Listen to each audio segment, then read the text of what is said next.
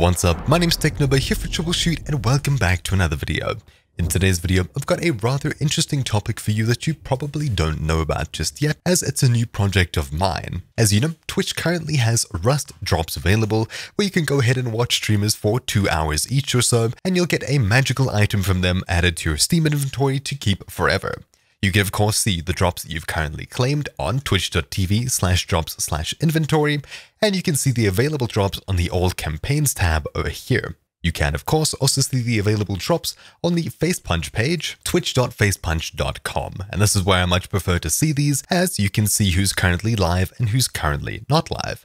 But you don't see what items you already have, even though it's linked to your Twitch account. If we have a look at the Twitch page over here, inventory, you'll only see items that I've got, and if I head across to the All Campaigns tab, you'll see all of the streamers, but you don't know which ones I already have and which ones are currently live, which is very annoying. But I've made a Firefox and Chrome extension that fixes this issue for you. Basically, all you have to do is install a plugin, which will be linked in the description down below as soon as it goes live. Currently, it's pending review on both Mozilla's Firefox App Store and the Chrome Extension Store. But I've got it installed here from the local files. And of course, like my other projects, this is completely open source, so if you don't trust it, you can come over here and look at the source code for it.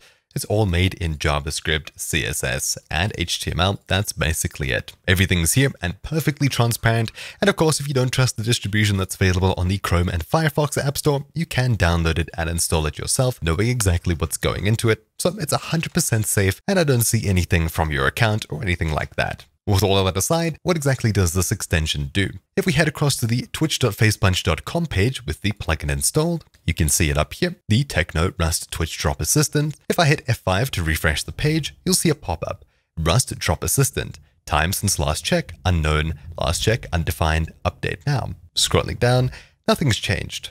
But if I were to refresh the page and click Update Now, you'll see that the Twitch inventory page opens up and then closes rather quickly. If I simply refresh this page over here, scrolling down, you can see which items I already have collected, highlighted in green, making life a ton easier because we see exactly what we need to get at the very top left. Yes, it reorganizes them, and we'll be able to see who's live and who's not. Whenever we refresh this page, we'll see exactly how long since the last update, and all you have to do is click Update Now to get new information. How exactly does it work? Well, it has a look at this inventory page over here. Whenever it's open, you'll see this pop-up saying it saved the claimed items, but basically it looks at the names of each of these items down here and then compares them to the names over here and if the name matches, it simply adds a green background and a light green border. It's that simple, that's basically all it does, but of course it also reorganizes everything here, so the ones you haven't got appear first in the list, and then all of the ones that you do have. While this plugin is still a version 1.0, it seems to work good enough and does exactly what I needed to do to keep track of all of the items that I don't have so that I know when I've got absolutely everything,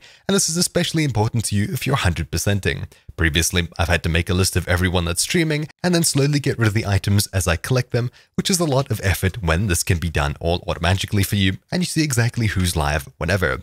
All you have to do is simply open up twitch.facepunch.com and stay on this page. You don't need to even go to the Twitch inventory page, just click update now and it updates for you with all of the items that you have in your inventory.